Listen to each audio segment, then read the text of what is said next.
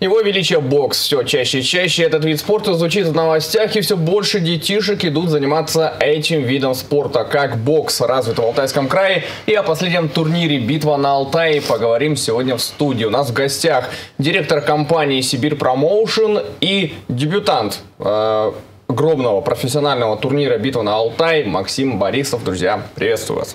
Добрый день.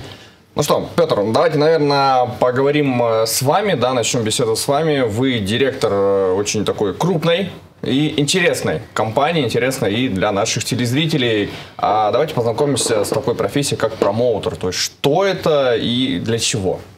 Хорошо, у меня вопрос. Но ну, для начала хотелось бы поздравить всех наших телезрителей э, с наступающим праздником, с Новым годом, пожелать удачи, счастья и всех благ, как говорится.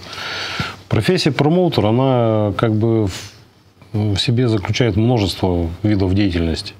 По сути, это в основном э, продвижение боксеров по карьерной лестнице, э, организация турниров, привлечение средств для осуществления этих турниров и также для боксеров, чтобы они могли принимать участие в рейтинговых поединках и так далее. Также это очень много медийных моментов. Ну, разработка всей стратегии, как будет выглядеть турнир определения главного боя, как все это будет все происходить и работать. Угу. Как бы оно, вот такая там много деятельности. От, начиная от матчмейкинга, заканчивая менеджментом. То есть здесь поле деятельности очень широкое. Плюс общение со спонсорами, с, реклама, с рекламодателями, с, э, с рекламными компаниями. Также привлекать, заинтересовывать. Также это общение с, с органами власти с администрацией, со всеми. То есть, ну, как бы вот в принципе вкратце только так могу это рассказать. Но это у нас займет просто очень много времени, если мы будем дальше это все развивать и раскачивать. А, расскажите, как профессиональный бокс появился на Алтае? Насколько я знаю, все началось именно с вас, и еще ваш Нет, даже, отец Да, да, да. Это, это еще началось мотивацию. с отца. Да. Ну, не как мотивация. Он э, был вице-президентом Федерации профессионального бокса России. Угу. И важно подметить, что э, турниры по профессиональному боксу, одни из первых проходили в Барнауле. Самый первый был в 90-м году, потом 94-й, 97-й, 98-й, по-моему. То есть здесь даже дрались такие боксеры, как Сергей Кобазев, Андрей Шкаликов. То есть у нас Барнаул, в принципе, как-то еще с, 90, с начала 90-х уже как бы боксерский более, да, город. боксерский город профессиональный, да. Он это делал, ему нравилось. Он стоял у истоков создания Федерации бокса России вместе с Виктором Петровичем Агеевым. А я когда еще просто маленький был там, да, турниры эти смотрел и сижу, думаю, ну, может быть, мне вот так вот, я бы так сделал, так бы сделал там, да, ну, как-то у себя мысли уже какие-то в голове еще с детства у меня закрались такие желания, чтобы, ну, это, такие турниры организовывать и все остальное. Мне это очень нравилось и интересно было. Еще в детстве все это как-то проигрывал, все эти моменты. Думаю, тут лучше бы на выходы другую там музыку поставил или вообще бы. Ну, там раньше они по-другому выглядели. Не было ни боксрека, ни интернета. Угу. То есть это выглядело так, он с кем тренировался там в сборной. Там, звонил в Киргизию, там приедет какой-нибудь чемпион там, Европы, там, к примеру. А у нас парень кандидат в мастера спорта. И получается бой как бы. Ну, у нас в, только в 97 году наши выигрывать начали по профи в Барнауле. А так приезжали международники, все остальные из 90-х. Там сильные СССРовские боксеры были. Так что у нас тоже много еще из 90-х годов профессионалов.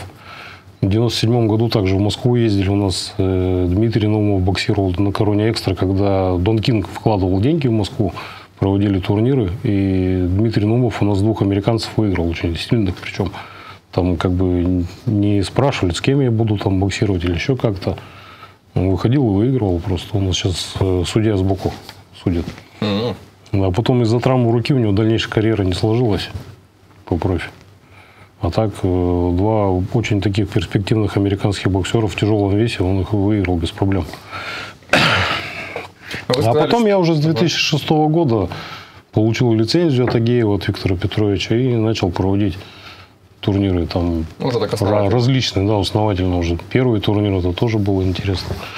Конечно, ничего не знали там в организации, как бы такие. Ну, все на собственном опыте, все ошибки выяснялись. И уже после этого, после этого уже с этой деятельностью складываются какие-то связи уже с другими промоутерами, э, с Екатеринбургом, с Москвой, там отношения с, с Германом Титовым мы общаемся очень хорошо, РМК боксинг. Угу. И ну, в таком ключе столько лет, и за, это, за эти года уже образовался какой-то опыт. Ну, не какой-то, такой достаточно серьезный. И мы как бы выбрали регион, получается, сибирский. Мы хотим развивать бокс в Сибири, профессиональный. Потому что здесь очень много талантливых и перспективных ребят, которые могут э, показать себя, реально показать на мировой арене. Так и в ходе нашей деятельности такие уже были моменты. У нас и Юрий Кашинский был, он уже два раза за титул чемпиона мира дрался. То есть мы совместно с Германом его ставили туда. Ну, вот такая деятельность. Сейчас уже, уже по 52-й турнир по счету для нас, для нашей компании. Да, это 52-й турнир. А можете провести такую легкую параллель? Э, какой был первый турнир и вот э, последняя битва на Алтае? Вот что бы вы изменили в первом турнире? Что бы вы хотели бы, может быть, добавить? Уже столько лет прошло, да, уже, наверное, все равно поосмыслили, да, и, может, угу. вот здесь бы я сделал бы так все-таки, ну, а тут изменил. первого турнира я бы, конечно, добавил э, более организованный, что ли. То есть, то есть не забыть там увести боксеров там куда-то или питание там получше сделать. Как-то вот такое вот, более четкое все сделал бы. На самом деле. Хотя, в принципе, по боксу, по боям у нас всегда бои складывались. Такого не было, что у нас вышли все, ну, наши все выиграли там всех вообще. Такого не бывало никогда, в принципе. Угу. У нас все бои конкурентные, и мы стараемся упор делать именно на конкурентные бои, чтобы это выглядело зрелищно и максимально интересно. Если мы не будем делать интересный бокс, зачем это, кому это нужно? Кто его будет смотреть, кому мы нужны? Те же генеральные партнеры, которые деньги вкладывают, они же, если будут бои нехорошие, же не посмотрят. Угу.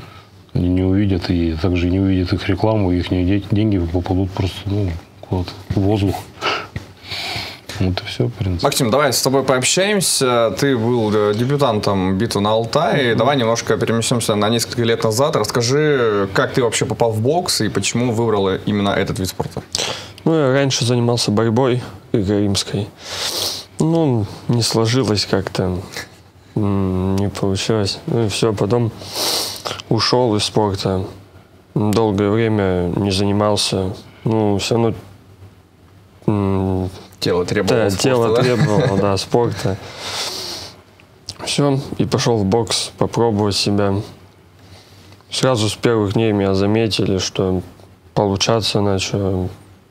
Не пропускал тренировки, выкладывался на максимум. Все, там первые соревнования выиграл. Ну и так пошло, пошло. Участвовал там в Сиби... на Сибири, вошел в призеры, Получил разряд кандидата в мастера спорта в этом году. Ну и многие еще там соревнования были. Э. Сколько сейчас ты боев уже провел? Ну, если считаешь количество. Ну, больше 30. И процент побед больше? Конечно, больше. Ну, Хорошо. А мы еще вернемся э, к, к тебе, Макс, с таким вопросом. Как ты готовился к турниру битву на Алтае и как uh-huh. ну, проходила, проходила тренировочная, да, так сказать, сессия, да, в кавычку. Uh-huh. Вот, а, Петр, расскажите, как турнир «Битва на Алтае» у нас организовывался, с чего все началось, как выбирались э, бойцы, пары и вот вся вот эта медийная тема? Хорошо, это интересно, да, я думаю. Ну, первое, с чего началось, это мы определились с генеральным партнером – Э, по финансам. И хотелось бы даже выразить очень большую признательность ему и в понимании, и во всем. Это компания «Энергия» в лице э, Малова Владислава и Юрия Самоходкина из города Барнаул. Без них бы этого чудесного турнира не получилось бы никогда. В принципе, на самом деле, это самая первая позиция по выбору. Далее мы определился с главным боем. Это Василий Штык и Артыш Лапсан. Объясню почему. В мае этого да, 2022 года у них был первый поединок в Москве, э, в ходе которого Вася, в принципе, Штык выиграл.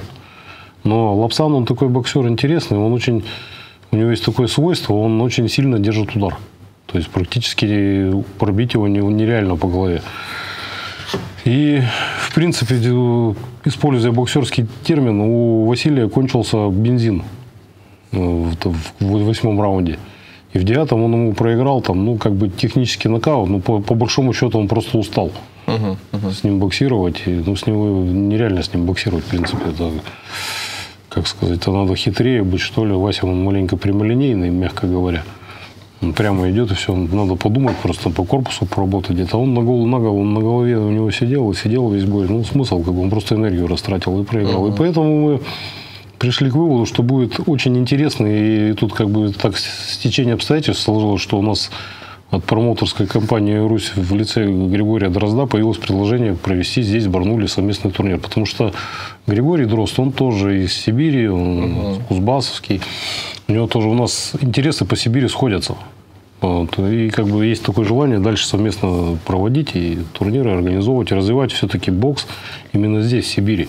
Потому что в Москве там и так всех хватает. И Москва, и Екатеринбург. Там много. Там, да, там много ребят, они тоже. А у нас здесь э, хорошие материалы, как говорится. Вот. И поэтому этот бой, в принципе, подходил для трансляции по Матч ТВ. Ну, не в принципе, а сто процентов подходил.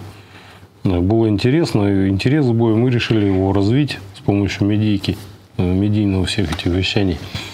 И нулевой раунд сделали для этого, чтобы в целях раскачки боя. Ну, а потом у нас произошла неприятность с Матч ТВ, там по техническим причинам они не смогли нам дать эфир.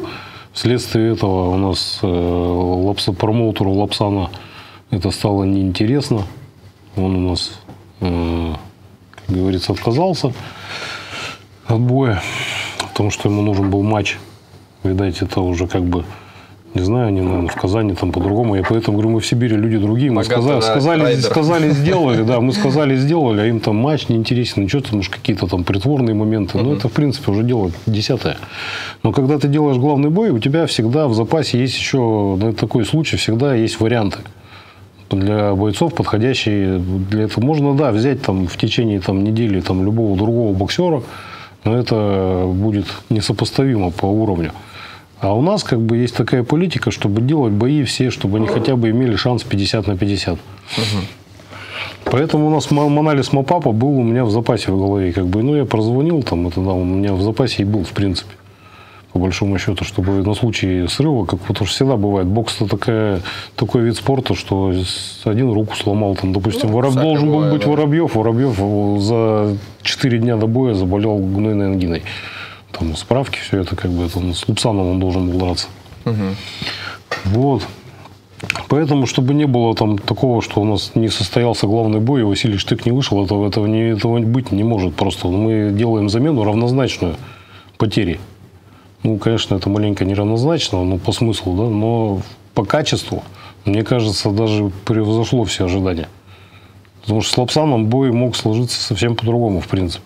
Угу. Не просчитывая, да. не просчитываем позиции. Ну, это замена, которая вызвала очень хороший интерес. Да, достойно. Я знаю, что он, да, он, кстати, вот Мапапа, он э, очень недооцененный боксер у нас в России.